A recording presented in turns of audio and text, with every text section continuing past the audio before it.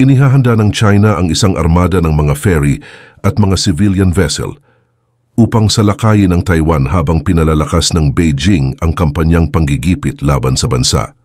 Bagamat kulang ang People's Liberation Army ng mga amphibious landing craft na kailangan para isagawa ang uri ng pagsalakay na nakita noong D-Day landing, maaari nitong dugtungan ang agwat sa mga sasakyang civilian, kabilang ang dose-dose ng napakalaking roll-on at roll-off ferries.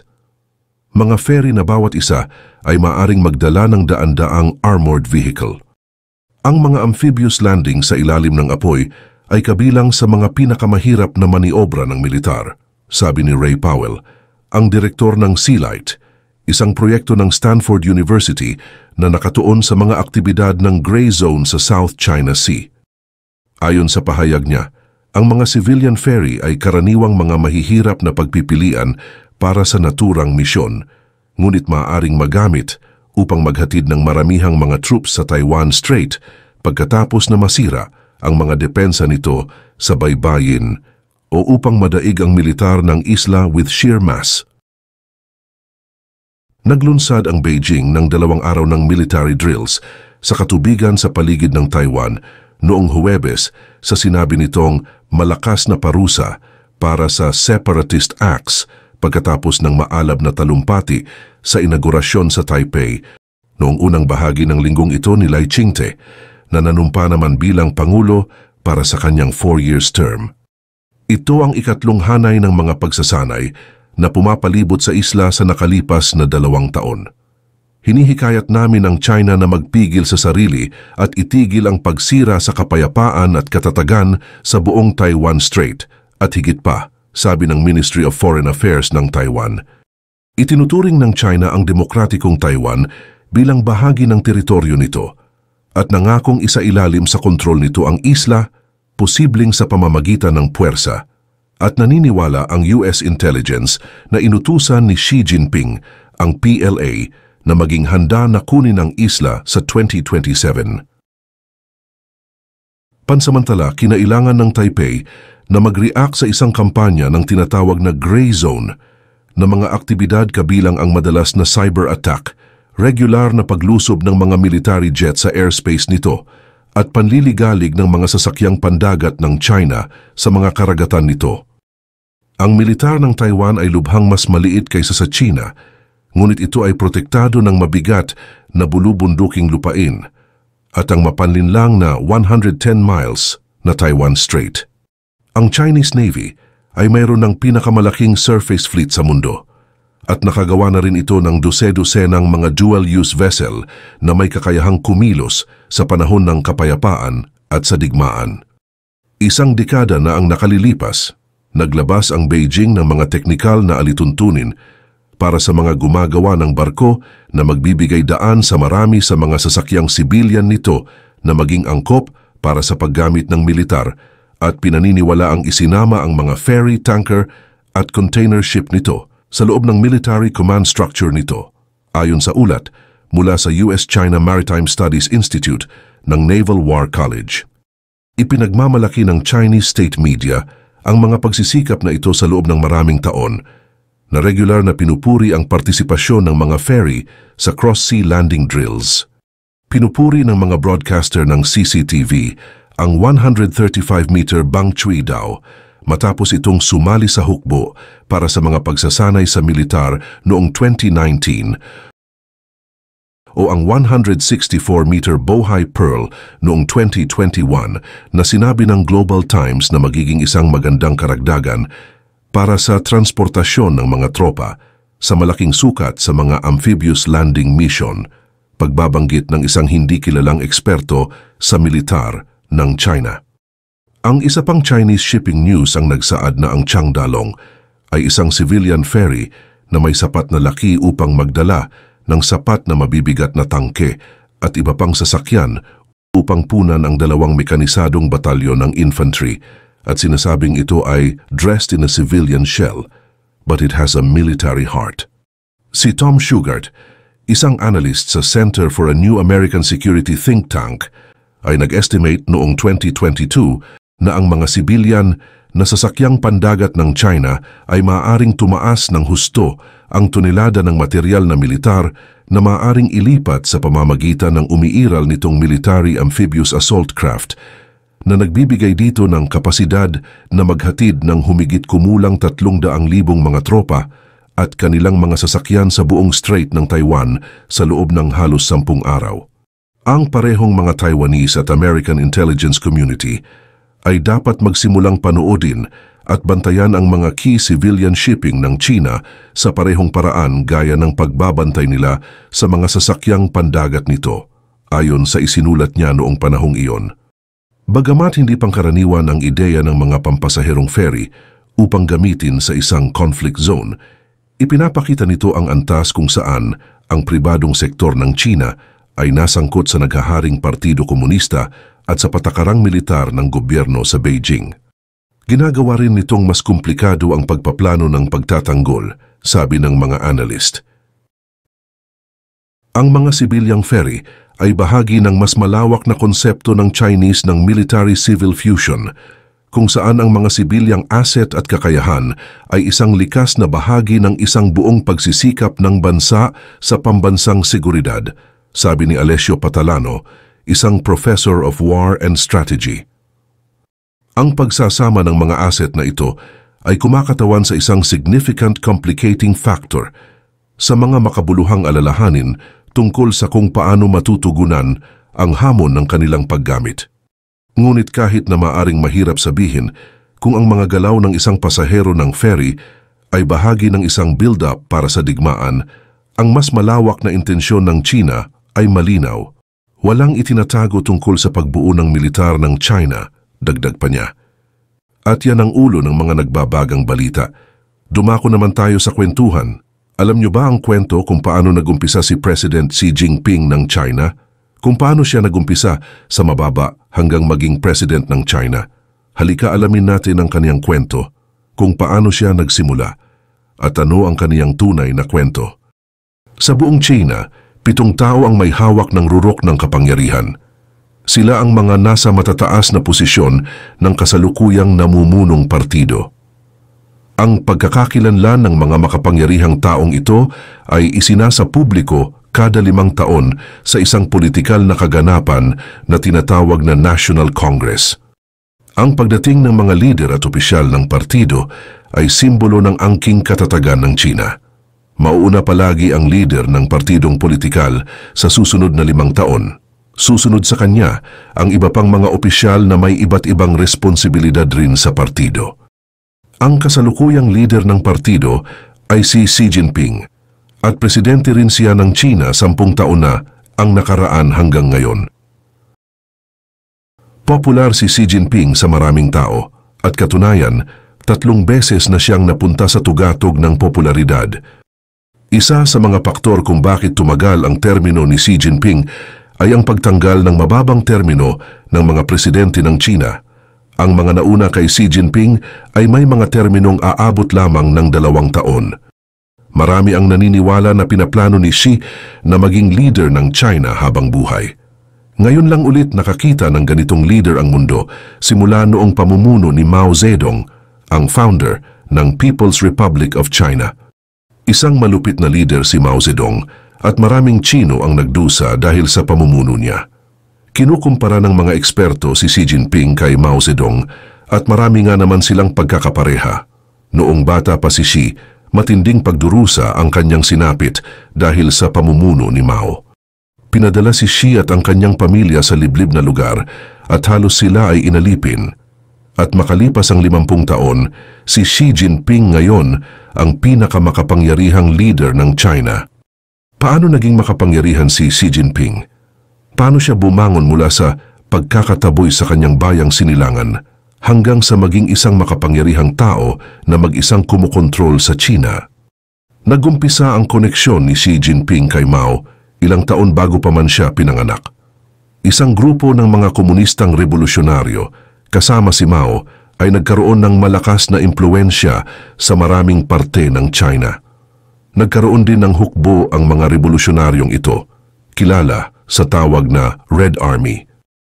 At dahil wala nang makain ang mga komunista, nagplano sila ng isang matapang na pag-atake para mailikas ang mahigit 130,000 na mga komunistang sundalong naipit sa digmaan. Noong October 16, 1934, lumusob na ang puwersa ni Mao at nakalusot sila sa malaking puwersa ng gobyernong nakaharang sa mga ruta.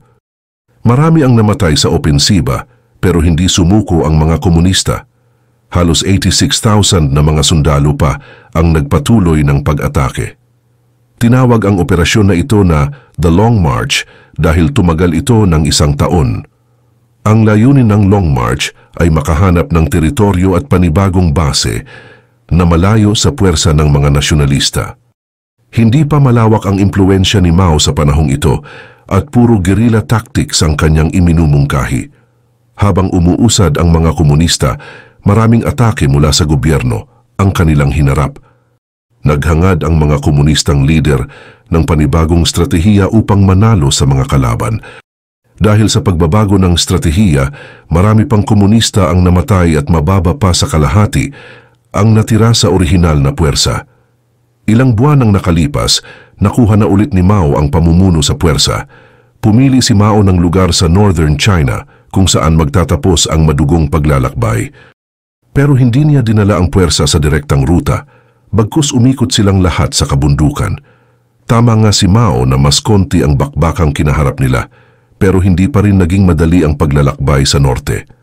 Sa northern China, tinulungan si Mao ng isa pang guerrilla leader na si Xi Zhongxun, ang tatay ni Xi Jinping. Sa pagtatapos ng Long March, tinatayang 8,000 komunista lamang ang nakaligtas. Kahit na marami ang namatay sa pagkagutom, pakikipagdigma at sakit, kinilala ng mga komunista ang pamumuno ni Mao bilang isang aspektong nagsalba sa Red Army. Ang tagumpay na ito ni Mao ang naging dahilan kung bakit naluklok siya na leader ng Communist Party ng China lalabanan ng Communist Party ang mga nasyonalista, bitbit ng bawat komunista ang kagitingan at katalinuhan ni Mao Zedong. Alamin natin kung paano gumagana ang kapangyarihan at makinarya ng Communist Party of China o CCP. Ang nasa tuktok at pinakamakapangyarihang grupo sa CCP ay ang Central Committee. Responsable ang Central Committee sa pamamalakad ng mga desisyon ng CCP at pagpapanatili ng integridad ng partido. Sa loob ng Central Committee ay may mga napiling individual na magsisilbing political officials o kilala rin sa tawag na Politburo. Kaparehas ng iba pang komunistang partido tulad ng sa Russia, ang Politburo ng CCP ay binubuo ng mga pinakamakapangyarihang tao sa partido. Pero mayroon pang maliit na grupo mula sa Politburo. Ang Politburo Standing Committee – Kasama dito ang General Secretary na may malawakan at direktang kontrol sa buong Central Committee. Ang Politburo Standing Committee ang may pinal na desisyon sa lahat ng pulisiyang pinapasa ng partido. Kontrolado rin ng General Secretary ang Central Military Commission na nakatalaga sa buong depensa ng CCP at dahil kontrolado na ni Mao ang Central Committee at Central Military Commission, inumpisahan na niya ang kanyang mga plano at pag-abuso sa kapangyarihan. Sa unang resolusyon na pinasa ng CCP noong 1945, pinagbuklod ni Mao Zedong ang buong partido sa isang ideolohiya na tinatawag na Maoism. Nakadisenyo ang Maoism na hindi pwedeng kalabanin o tibagin ng kahit na sino o kahit na anong grupo. Nakatulong rin sa pag-angat ni Mao ang tiwala na binigay ng mga miyembro ng Politburo Standing Committee at mga komunista ng partido. Pagkatapos ng apat na taon, dineklara ni Mao Zedong ang tuluyang pagkapanalo ng CCP at dineklara niya ang isang bagong nasyon. Nakatulong rin sa pag-angat ni Mao ang tiwala na binigay ng mga miyembro ng Politburo Standing Committee at mga komunista ng partido. Pagkatapos ng apat na taon, dineklara ni Mao Zedong ang tuluyang pagkapanalo ng CCP at dineklara niya ang isang bagong nasyon, ang People's Republic of China o PRC. Pero ang pagkapanalo sa revolusyon ay magkaiba kumpara sa pagpapatakbo ng bansa. Maraming responsibilidad ang konektado sa aspekto ng pamumuno at mahihirapan ang isang partido na balansehin ang lahat ng mga proyekto. Kaya naman gumawa ang CCP ng isang gobyerno na magsasagawa ng mga planong inaprubahan ng Central Committee. Sa bagong gobyernong ito, ang Departamentong State Council ang nagpapalakad ng mga plano at desisyon ng Politburo Standing Committee. Ang namumuno sa State Council ay ang Premier ng China at siya rin ay miyembro ng Politburo Standing Committee. Mahigpit na hinahawakan ni Mao ang tali ng kapangyarihan sa partido at agad niyang pinopromote ang mga miyembro na loyal sa kanya kahit na hindi pa sapat ang kanilang karanasan sa pamumuno. Dahil lahat ng mga opisyal ng Politburo ay malapit kay Mao, walang kumukwestiyon sa kanyang liderato. Ngunit dahil sa kawalan ng karanasan ng mga tinalagang opisyal ni Mao, nagdusa ang administrasyon. Hindi naging epektibo ang mga pulisiya na inilabas ng partido. Naging aristokrata ang mga opisyal na tinalaga ni Mao, kabilang na ang ama ni Xi Jinping na si Xi Jong-shun na naging Secretary General ng State Council. At dahil long marcher si Xi Jong-sun, ang kanyang anak na si Xi Jinping ay tinaguriang princeling o maliit na prinsipe. Hindi maikakaila na naging matagumpay si Mao Zedong sa paghawak ng kapangyarihan ng CCP at ng buong bansa. Lumabag na rin sa maraming karapatang pantao ang mga pulisiyang pinasa ng CCP at nagkaroon ng malawakang taggutom at persekusyon sa China. Gamit ang Cultural Revolution, pinwersa ni Mao at ng partido ang populasyon ng China na sundin lamang ang ideolohiya ng Maoism. Ang mga hindi sumunod sa Maoism ay pinahiya, pinahirapan, tinaboy sa lupain at kadalasan pinatay ng walang awa. Ang grupong nagpataw ng marahas na parusa laban sa mga kalaban ni Mao ay ang panatiko at loyalistang Red Guards – kahit na ang mga malalapit na opisyal kay Mao ay hindi nakaligtas sa mga kamay ng Cultural Revolution. Marami ang mga tinanggal sa partido kabilang na si Liu Shaoqi, isang miyembro ng Politburo Standing Committee. Kahit na ang laging kasama ni Mao na si Lin Biao ay misteryosong namatay sa pagbagsak ng sinasakyan niyang eroplano habang siya ay papunta sa Soviet Union. Ayon kay Mao, traidor sa bansa at partido si Lin Biao kinundena at pinahiya ni Mao Zedong at ng mga Red Guard si Xi Jong-sun noong kasagsagan ng Cultural Revolution. Pagkatapos mahuli at mapahiya, nakulong si Xi Jong-sun ng walong taon. Nang makulong ang kanyang ama, na-kick out sa elite school ang labing limang taong gulang na si Xi Jinping. Pinadala siya sa liblib na lugar upang magtrabaho ng walang humpay. Sa kuweba lamang tumira si Jinping at wala rin siyang sapat na pagkain. Nang mamatay si Mao Zedong, natapos na ang malupit na Cultural Revolution. Ang sumunod sa yapak ni Mao ay si Deng Xiaoping, isa sa mga miyembro ng Politburo Standing Committee na natanggal sa kapangyarihan. Bago pa man mamatay si Mao, nangako na si Deng Xiaoping sa mga nakakulong na miyembro ng partido na sila ay palalayain kaya naman sinuportahan ng maraming CCP members ang rehabilitation program na gustong isulong ni Deng Xiaoping. Tinupad naman ni Xiaoping ang kanyang pangako. Nang bumalik ang aspekto ng tamang pamumuno sa China, nag-isip ang buong partido kung paano pipigilan ang pagkabuo ng isa pang cultural revolution. Para mawasak ang kulto ng personalidad na pinalakad ni Mao, nagsagawa ng tinatawag na Second Resolution ang partido noong 1981. Sa bagong resolusyon na ito, binasura ang pamamalakad ni Mao at nanawagan ng lahat sa partido ng collective leadership o sama-samang pamumuno. Determinado na ang CCP na alisin sa kamay ng isang individual ang sentro ng kapangyarihan. Katulad ni Mao, hinawakan ni Deng ang Central Military Commission pero hindi siya ang naging head of state – hindi rin siya ang may hawak ng pinakamataas na posisyon sa partido. Bagkus, naglatag si Deng ng panibagong Central Advisory Commission kung saan siya ang chairman. Sa ganitong paraan, naimpluensyahan niya ang pamumuno ng hindi direktang nagbibigay ng utos. Nagkaroon ng tinatawag na power sharing kung saan hati ang kapangyarihan sa maraming opisyal kahit na si Deng pa rin ang leader ng China. Napuno pa rin ng kontrobersya ang pamumuno ni Deng at siya ay bumaba sa pwesto noong 1989 kasunod ng pag-ambush ng army sa mga estudyanteng nagpoprotesta sa Tiananmen Square. Ang pamumuno ni Deng ang naging dahilan kung bakit nagkaroon ng malakas na relasyong ekonomiya ang China sa mundo. Si Deng rin ang unang leader ng China na nakabisita sa US noong 1979.